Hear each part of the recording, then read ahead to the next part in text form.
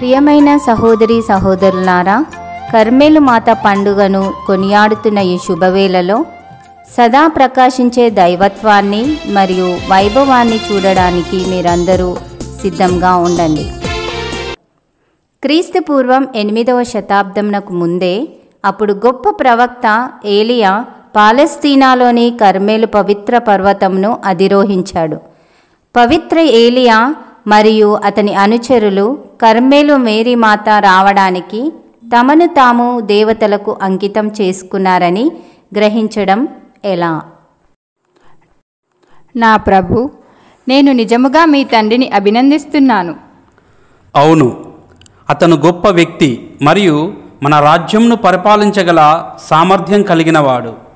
అతని మరణం వలన మనకు చాలా నష్టం జరిగింది.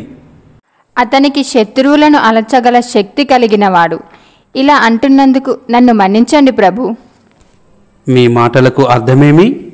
ఎవరైతే కర్మేలు పర్వతం పైన పూజించుచున్నారో వారు నాకు అజాత శత్రువులు. మహారాజా ఇది మీకు తెలియదా?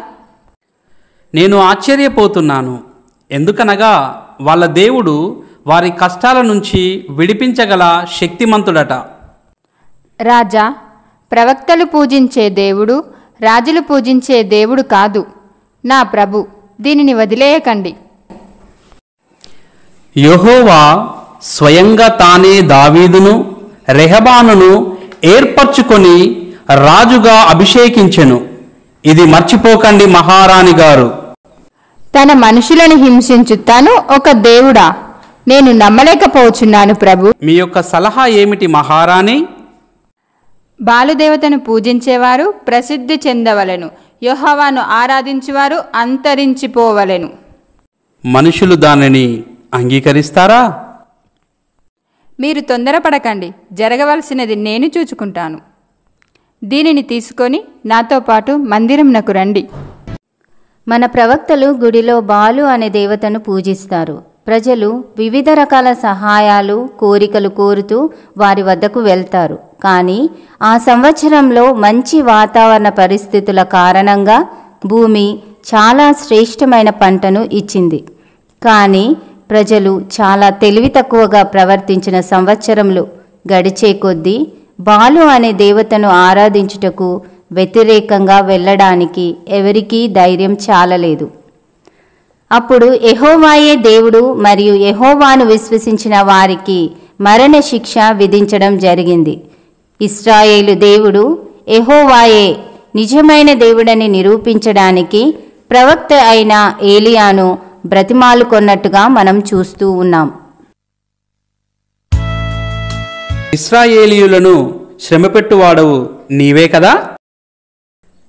నేను కాదు మీరును మీ తండ్రి ఇంటివారును ఇస్రాయేలీయులను శ్రమపెట్టుచున్నారు.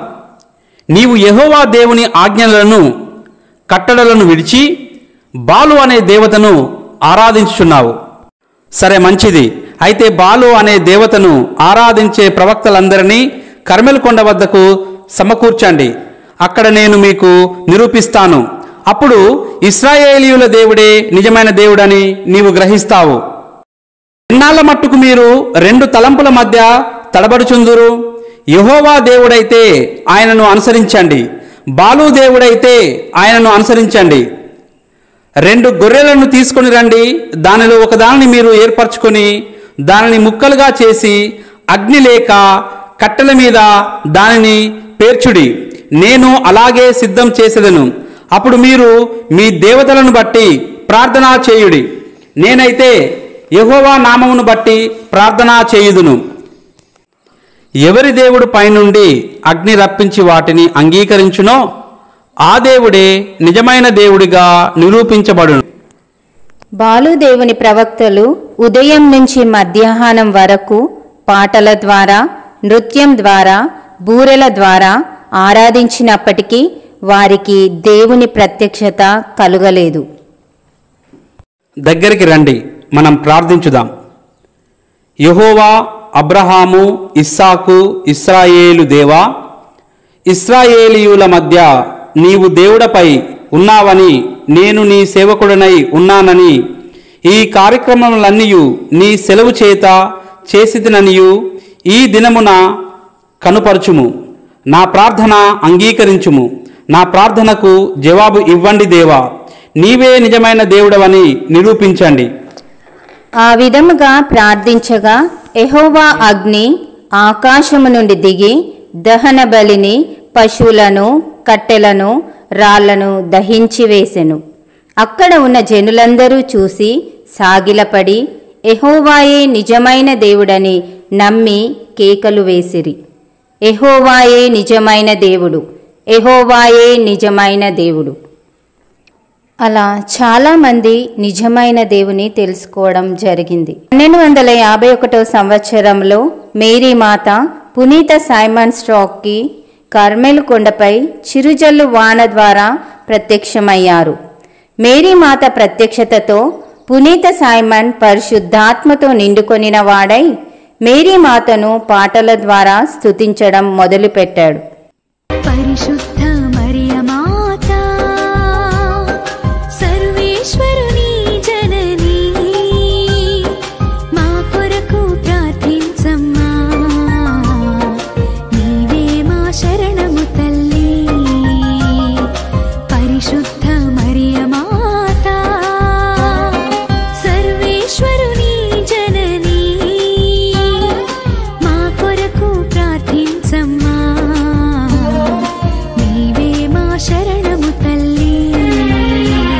మేరీ మాత ప్రత్యక్షమై పునీత సైమన్ స్ట్రాక్కి ఉత్తరీయాన్ని అందించడం జరిగింది.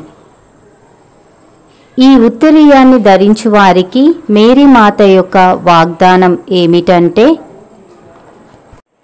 నేను వారికి అధిక మేలులు అందిస్తాను మరణావస్థలో ఆదరిస్తాను మేరీ మాత చాలా సుగుణాలతో నిండి ఉన్నారు వినయం నమ్రత గల మాత నమ్మకమైన వ్యక్తిత్వం గల మాత విధేయత కలిగిన మాత ప్రార్థనాత్మ కలిగిన మాత దయగల మాత పరిశుద్ధత కలిగిన మాత సేవాభావము కలిగిన మాత ఓపిక కలిగిన మాత.